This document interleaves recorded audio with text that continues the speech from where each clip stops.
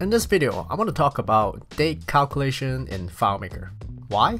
Because most business use date information in their operation one way or another, such as due date or product shipping date. And in this video, I'm going to cover three things. First, we're going to talk about some basics of date calculation. And second, I'm going to introduce to you to one of the most important date function in FileMaker. Lastly, we're going to cover three common business examples to make use of the function that I will be introducing. Coming up.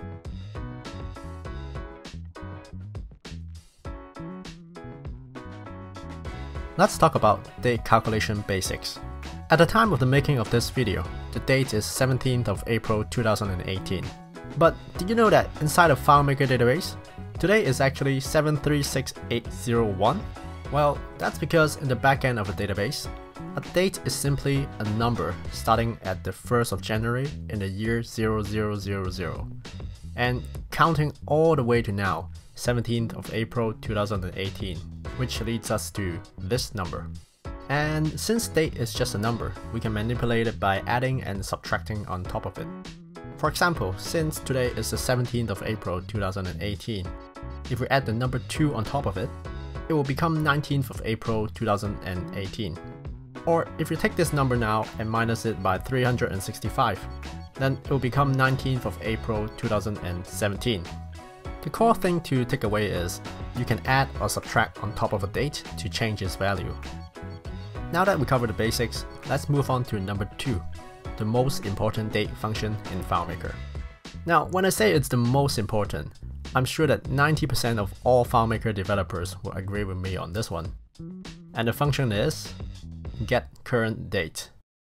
When we use get current date inside the FileMaker calculation, it will give us the date value of today. So when I use it today, it will show me 17th of April. The reason why get current date is so important is because getting the dates of today allows you to compare it to your existing date data and get a much better insight. I'll explain this further in the next part, the three examples. Before I start, here's some context of this example file I'll be using. In here, I have a database with a list of tasks, and each task within it has their own name and their due date. I also have three other calculation fields set up so that we will be using this for our three different examples. Let's start with our first example. We're gonna turn the due date into a number. What I mean is, when we look into this database, we see a lot of date values lying all over the place and it is quite difficult for me to just look at the task and then understand immediately the urgency behind each task.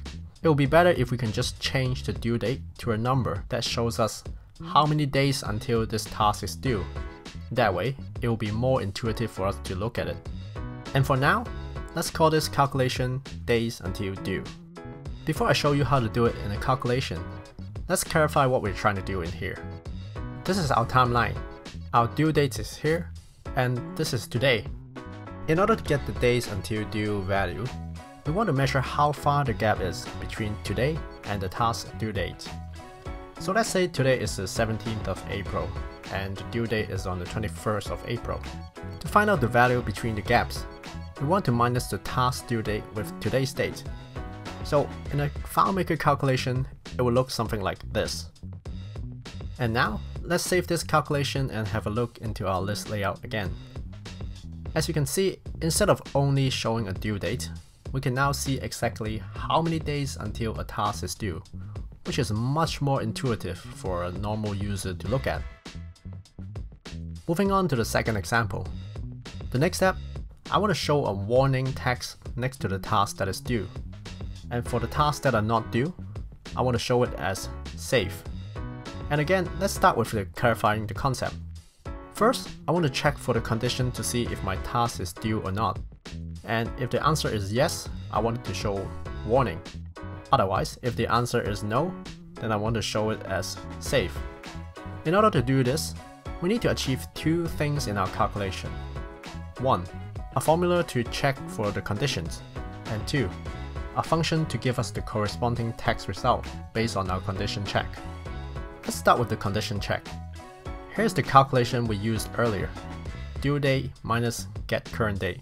And if you look at our timeline example right now, for each passing day, the result will get closer to 0 until it reaches the due date, and then the result will become 0.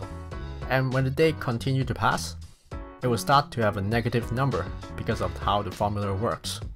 So the condition that we are trying to set in this scenario is if the result of due date minus get current date is smaller than or equals to 0, then the task is due. If we were to translate this logic into a calculation in FileMaker, the condition will look something like this.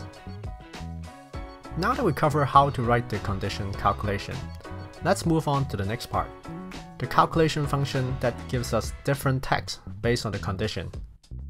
To do this in FileMaker, we will need to use the if function. There are three parameters in the if function. The first parameter is where you put your condition calculation into. The second parameter is the result that you want to show if the condition is true. The third parameter is the result you want to show if the condition is not true. To relate this back to our diagram, we want to check for the condition to see if due date minus get current date is smaller than or equals to 0. And if this is true, we want to show the warning sign. Or if this condition is not true, we want to show the safe sign. To put this logic back into the if function, it will look something like this. So let's save this and go back to our example layout. We now have a new calculation field that shows us if the task is due or not, with just two possible status. 1. The warning. 2. Safe which is very easy for people to immediately know if a particular task needs attention. Now, on to the third example. This time, instead of warning me when the task is due, I want to be more proactive and have more time to prepare for it. I want to show the warning 3 days before our task is due, so that I don't need to be so rushed in everything. Conceptually, it works like this.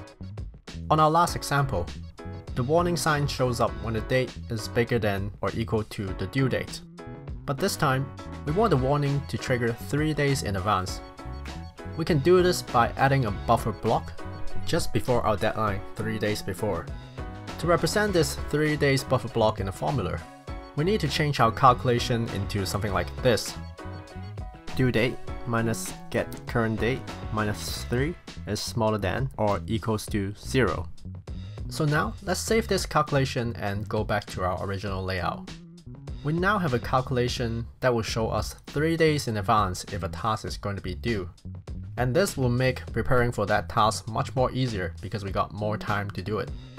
And that's it for the three example of how you could use get current date to improve your layout.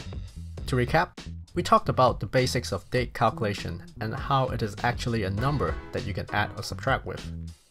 And then, we learn about the getCurrentDate function, which is one of the most important date function calculation in FileMaker. And thirdly, we've gone through three common examples of how you can use getCurrentDate, which includes getting the due date, showing a warning for due tasks, and also showing the same warning 3 days before a task is due.